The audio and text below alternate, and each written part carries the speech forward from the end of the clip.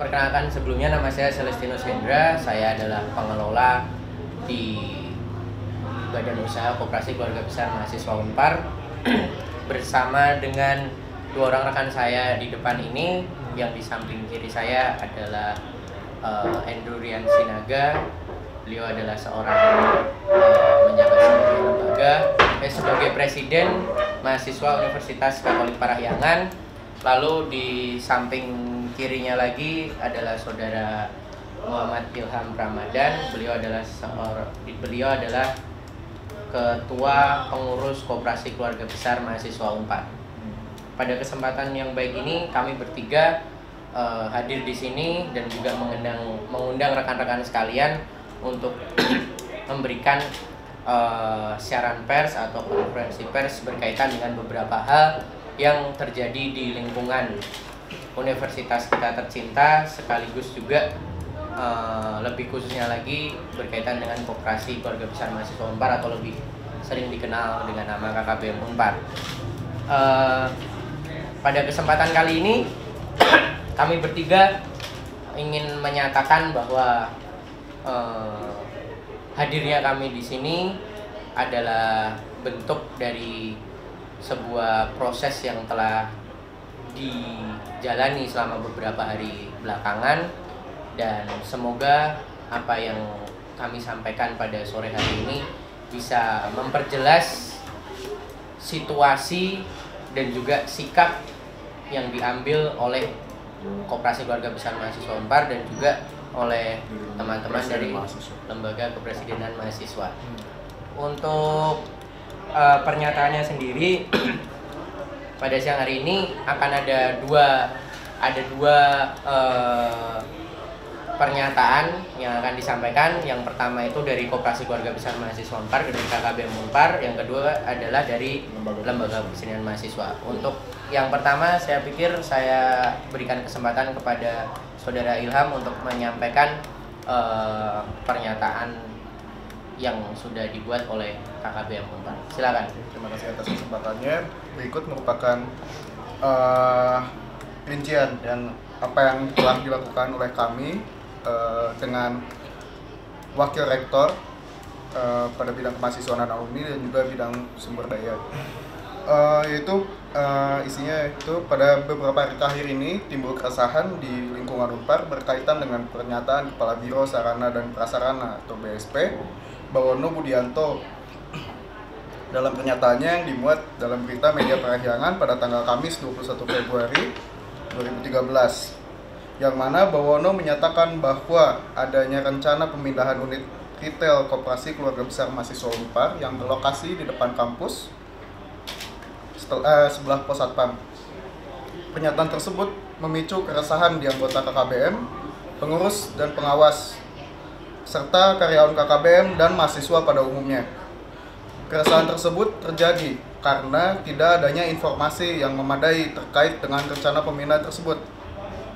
Akibat dari keresahan tersebut, salah satunya tersebar tempelan-tempelan yang atas namakan Komite Mahasiswa Unpar yang mengecam rencana Bawono dan pernyataan yang bersangkutan di media.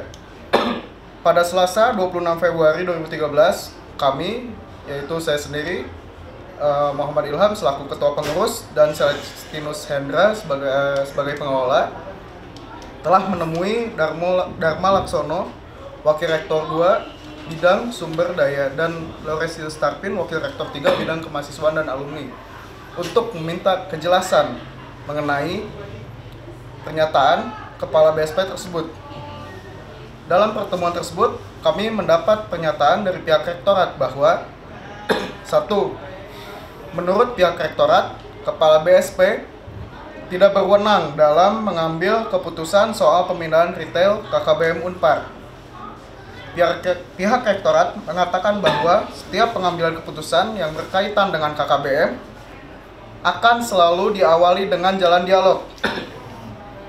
Dua, Kami mengucapkan terima kasih kepada pihak rektorat atas kebijak kebijakannya, khususnya dalam menjamin dilaksanakannya dialog antara KKBM dan rektorat.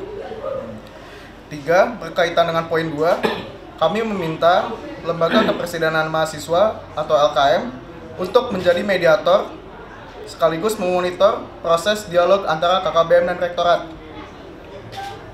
Poin 4, kami juga meminta kepada seluruh pihak yang peduli dengan KKBM dan isu-isu yang berkembang di sekitar kampus agar menahan diri supaya tercipta suasana kondusif bagi kita semua.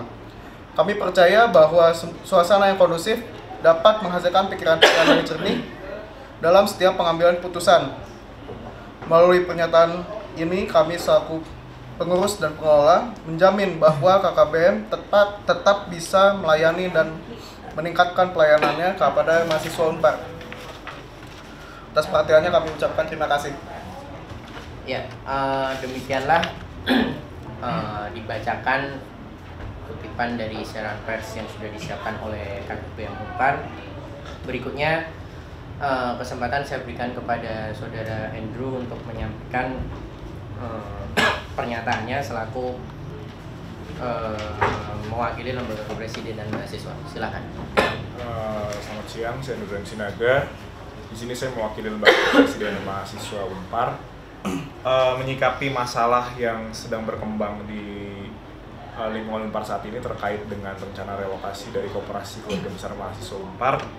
Uh, maka kami mengambil uh, ada tiga poin, tiga poin dari lembaga kepresidenan mahasiswa yang saya kira perlu disampaikan pada saat uh, konferensi pers ini. Yang pertama adalah menyikapi masalah ini lembaga kepresidenan mahasiswa mengambil sikap bahwa perlu diadakannya suatu dialog komprehensif dengan pihak rektorat perihal rencana relokasi kooperasi keluarga besar mahasiswa Unpar. Yang kedua, uh, kami mengapresiasi sikap rektorat yang akan membuka jalur dialog antara KKBM dan pihak rektorat perihal rencana relokasi dari operasi keluarga besar mahasiswa Unpar. Dan yang ketiga, eh, bersama-sama dengan KKBM, Lembaga Kepresidenan Mahasiswa akan segera merencanakan waktu dan teknis pelaksanaan dari uh, dialog perihal relokasi kooperasi keluarga besar mahasiswa. Mungkin itu tiga poin yang perlu saya sampaikan uh, menyikapi masalah tentang rencana relokasi ini dan uh, saya menghimbau untuk semua pihak agar uh, kejadian ini dijadikan sebuah uh, pembelajaran untuk kita semua. Dan juga agar kita dapat bersikap bijak dan arif dalam menyikapi setiap persoalan. Dan semoga apa yang kita, langkah yang kita ambil saat ini dapat menjadi uh, suatu langkah yang memberikan manfaat bagi seluruh mahasiswa. Pertama mengenai siapa saja yang akan uh, dilibatkan dalam diskusi ini uh, pernyataan dari saudara Andrew saya pikir sudah cukup jelas gitu bahwa yang jelas ada pihak KKBM Unpar lalu rektorat selaku uh, pimpinan universitas dan juga perwakilan mahasiswa yang diwakili oleh lembaga kepresidenan mahasiswa gitu. Sekaligus di mana tadi dalam poin yang sudah disampaikan uh, oleh saudara Ilham bahwa lembaga kepresidenan mahasiswa akan mengambil peran sebagai mediator sekaligus seba, uh, sebagai pihak yang memonitor jalannya dialog itu gitu. Uh, ya, saya menambahkan sedikit mengenai tujuan diadakannya dialog itu. Uh, di sini saya mungkin beberapa kali juga pernah memberikan pernyataan kepada teman-teman pers mahasiswa bahwa poin penting dari berdirinya koperasi mahasiswa Unpar adalah untuk memberikan pelayanan kepada anggota KBM pada khususnya dan mahasiswa Unpar pada umumnya. Lalu berdasarkan uh, semangat dan nilai-nilai itu kami menganggap bahwa keberadaan KKBM yang posisinya itu harus bisa terjangkau oleh mahasiswa itu sangat dibutuhkan.